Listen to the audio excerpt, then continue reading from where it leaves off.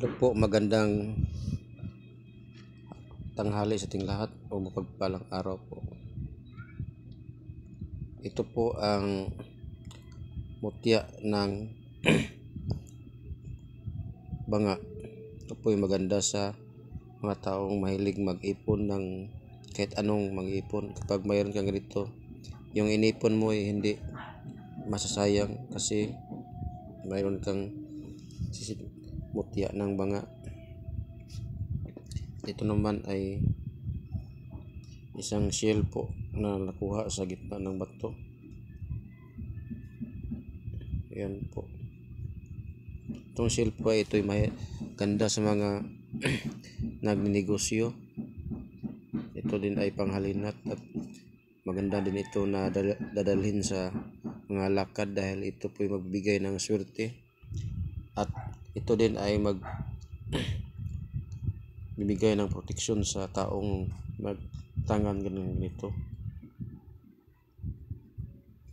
Ito po ang tikom bibig.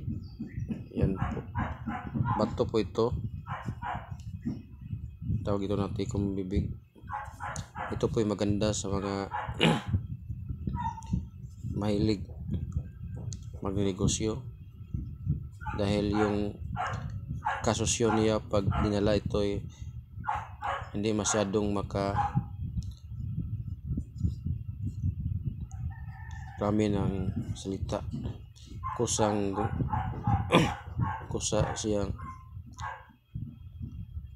sumusunod sa mga salita ng kanyang nagtatangan ito at walang at sa mga mahilig manganira o magmarites ito din pagdalalhin mo ito wala nang mag chichismis sa iyo. Yan po. Digit po ito. Bigay ng singaw ng kalikasan po. Ito po iba to. Tikom bibig. Maganda din ito. Maganda to sa mga mahilig mag punta sa ibang mga nayon ito naman po ay common na ito po. Ito po isang itlog. Ito naman isa isa naman ito na parang tinatawag sa amin ng kuol nasa palayan ito po makita itong kuol ay mabisang pangpaswerte dahil kapag ito ay nangingitlog mabilis dumami ang kuol kaya sinabi nila na ang kuol sa mga palayan ay tinatawag nila na parang piste pero ito'y maganda at mag bisa sa mga mahilig magparami ng mga pira negosyo dahil ito po ay isang libon libon din na call. Yan po ang kanyang puwet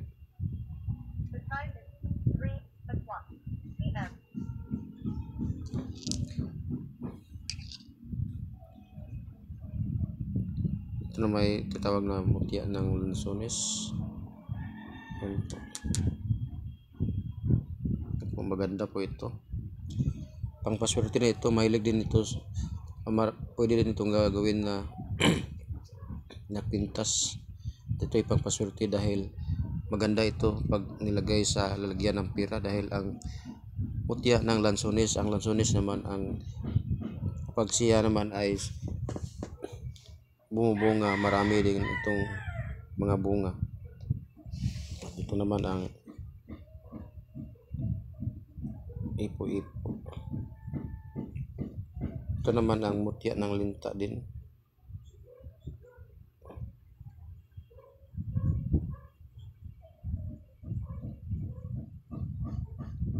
Yan po may mga guhit-guhit ito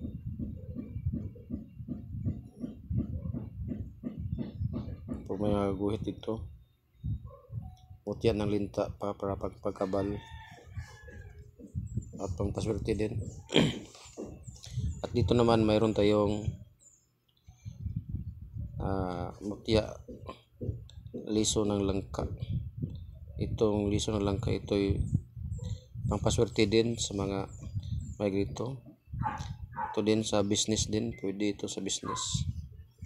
At sa panghalinat pwede din. At sa panganak pwede ito ilagay sa isang basong tubig katapos inumin. Ito ay malapit ng tumutubo o sumisibol ang kanya buto ng langka. Sumisibol na ito, malapit ng sumisibol. Yan po. Malapit sa pungay. At ito po ay malapit sa gilid na tumutubo. Ang kasama naman ito ay mutya ng langka din na buto ng langka na parang hindi naman ito twin dahil maliit ang isa pero ito ay mutya ng langka buto din ito na nagkadikit po. Yan po. Ito po ay mabisa sa pagpasulti din mutya ng langka. Buto din ito nga nakadikit. Singaw din ito sa kalikasan maganda din ito sa mga negosyo.